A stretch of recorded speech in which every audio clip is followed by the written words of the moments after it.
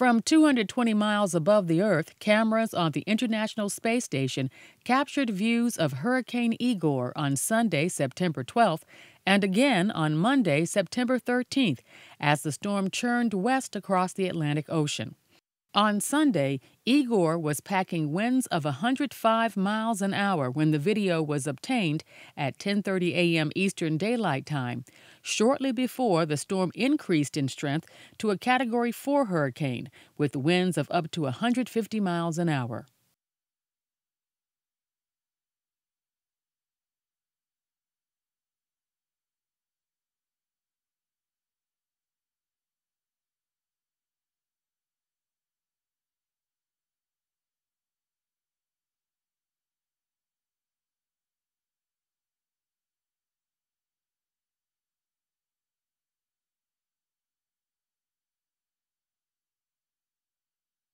Again, this is video taken uh, by the cameras on the exterior of the International Space Station on Sunday as the station was flying over Hurricane Igor, at the time a Category 2 storm with 105 mile per hour winds.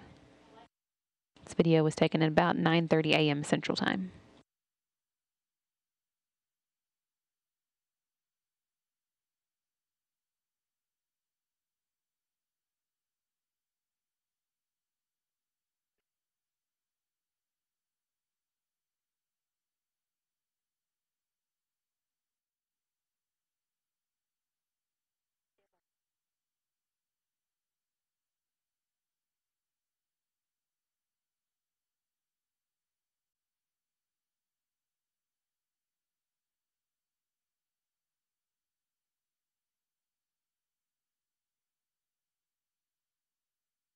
This is a view from another camera on the station's exterior of uh, the Hurricane Igor as the station flew over it yesterday.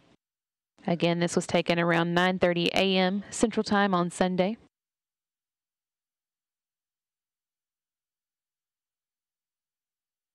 And at the time, the storm was a Category 2 hurricane with 105 mile per hour winds.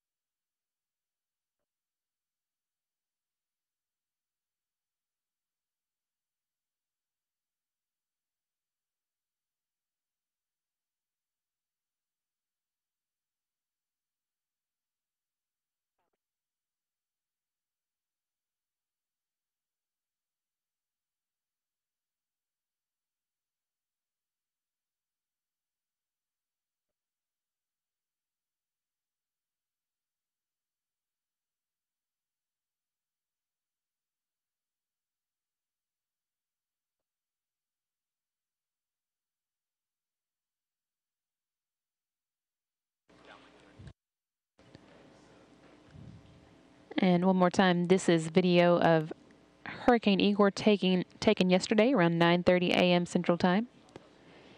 Igor strengthened not long after that to a Category 4 storm with 105 mile per hour winds and continues at this level now. As you can see, it grew quite a bit, as you can tell from uh, this video taken this morning.